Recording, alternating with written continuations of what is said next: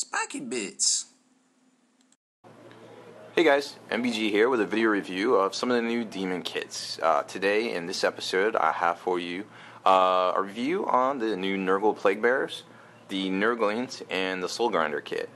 As you can probably tell by looking at the picture here, the Soul Grinder kind of looks the same.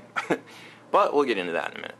Anyways, so let's take a look at our first kit, which is going to be uh, the Plague Bearers here. This kit, uh, people have been waiting for this for a while. Uh, it's been about what three years since the uh, since the Daemons came out. Most of them in plastic, except for these guys. So it gave definitely gave us something to look forward to.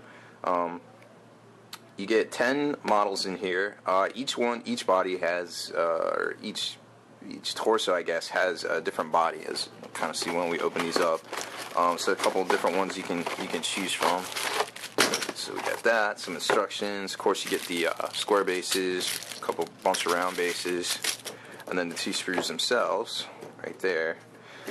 And the instructions, which is pretty straightforward. You just, you know, hey, look, you can make one on a square one on a circle. Yay! A couple different things. What I like about these is the uh, the little uh, the jovial little uh, nurglings that are that are added, like just skipping along. Hey, no care in the world, just a, just a little nurgling.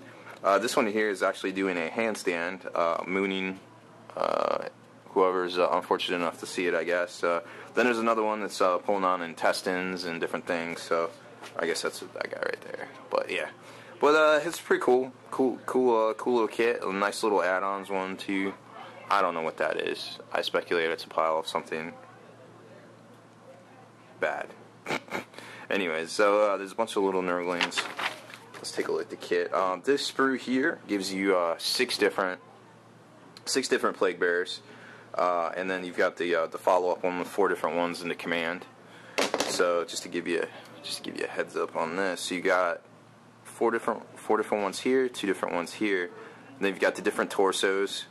Uh, torso as you can see, they're uh, basically lettered to match, so you know which ones fit with which. Then you got some of the uh, there's a there's a little Nurgling showing his butt, a couple of the other little Nurgling add-ons and stuff, and then you've got the uh, here's the fronts, so you can kind of see the detail detail on the back, detail on the fronts. A lot of them with like you know open intestines, open wounds, different things, gaping holes.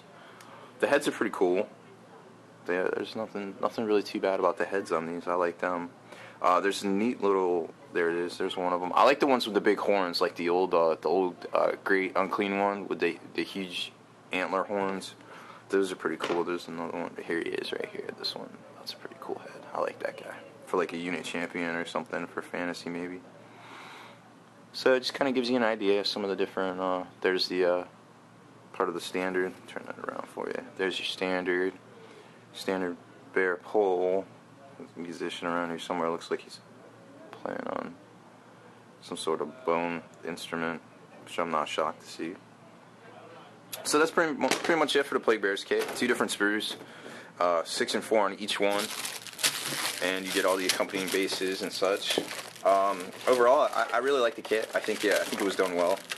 Um, and it's uh, it's kind of been a long time coming, and I'm sure we're going to see a lot of these people picking up a lot of these because um, you know, allying with Epidemus, Epidemus, whatever his name is. Uh, there's some cool stuff out there. Uh, next up is the Nurglings kit, and and these guys are kind of uh, kind of fun looking, uh, more jovialness, jovial evil, so to speak. Uh, there's your round bases, two sprues, square bases, check instruction manual. Hey, glue these guys together. What I like about the design on this is, if you notice here, it's kind of like an interlocking, interlocking system to make one base. Which, for some of the you know, good ideas out there, you could just make, hey, that's a base, and hey, that's a base, and throw these guys around, a couple of them, make another base. So out of one box, you could get a lot of boxes worth of worth of uh, bases. Um, so you got there's the Nurgles, little Nurglings, different stands, different things, a couple loose ones on each sprue. Here's the other one. Uh, you might want to. You might notice too, like on the back, there's a couple spaces that like butt up against the the guys that, that go go behind them or whatever. Well, I mean, you can easily just like throw some putty in there and make it like a gaping hole or whatever, and super super easy fix if if you if you even care. To, if you want to do a bunch, you know, try to maximize as many bases as you get out of this kit. Uh, I like this guy. He's like, come come at me, bro. Come at me, bro.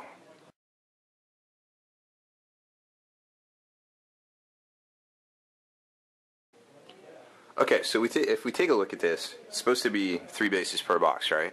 So take a look at these two screws. You got one base, two base, three base, four base, five base, six bases. So right there, you just doubled what the box is originally intended for. I mean, you got to decorate the, decorate up the base a little bit. You know, there's just going to be some surface area left for for that. I mean, if you you know, but then you could get seven bases, eight bases, nine bases with a couple extra D, or with looks like one extra D left over. So,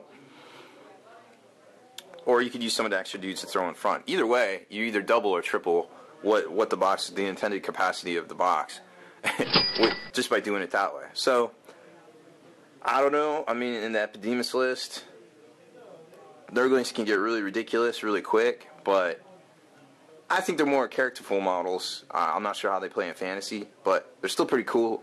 And hey, there's nothing wrong with having extra of anything in this uh, in this hobby. So that's just an idea. I, I think these are great looking models, and uh, they're, they're they're they're definitely cool and full of character. I think they're uh, they're going to be one of my favorites. That's for sure. So that was the Nurglings kit. And then we have the Soul Grinder. And as as you know, this this kit's been around for a while. So what's so new about it? Well, this is actually two kits now. because you can play it in fantasy with a new update in White Dwarf. So, to celebrate that, new model comes on a square base. Open it up. Hey, there it is. Big square base. So I'm not sure how many of these we'll see in 40k, but uh, I imagine somebody will play it in fantasy at least.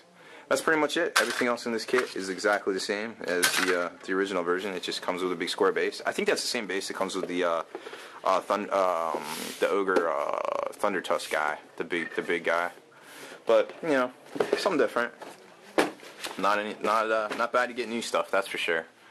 So I'm MBG, and I hope you enjoyed my uh, video review of three of the new Chaos Daemon kits: the Nurglings, Playbears of Nurgle, and the Soul Grinder.